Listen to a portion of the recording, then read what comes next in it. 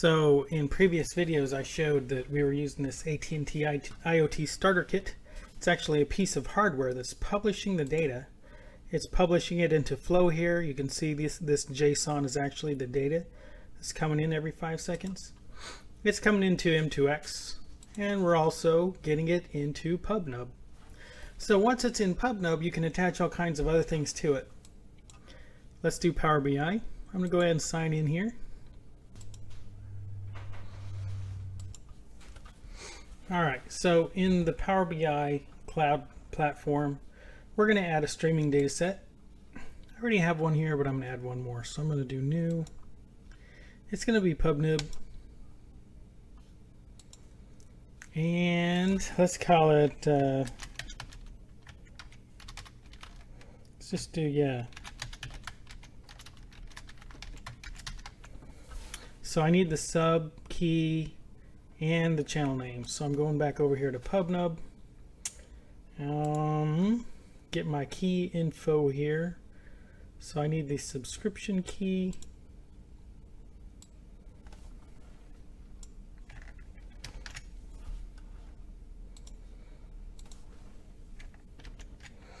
And the channel name, that's where I'm publishing the data. It's actually going to a channel called AT&T PubNub.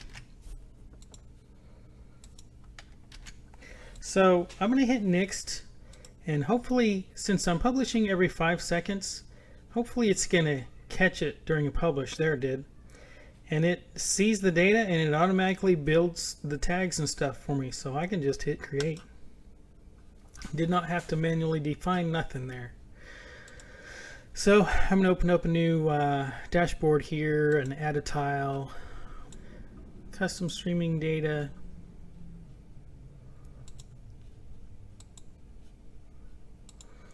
Let's do a uh, gauge.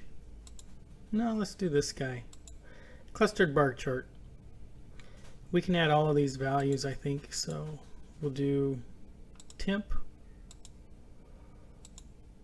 humidity, heat. That one looks pretty good. Let's do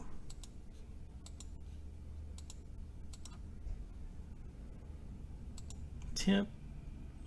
There we go, there's a number.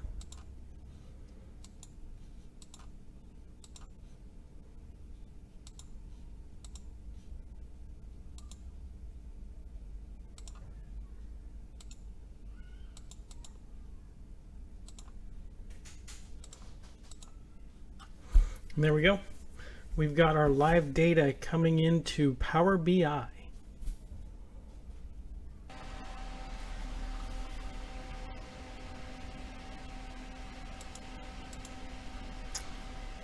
So this must actually be the uh, temperature of the board. I turned on a little fan here and I can see it moving a little bit.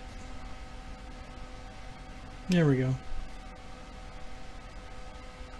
Next, I'm going to get this data into Freeboards.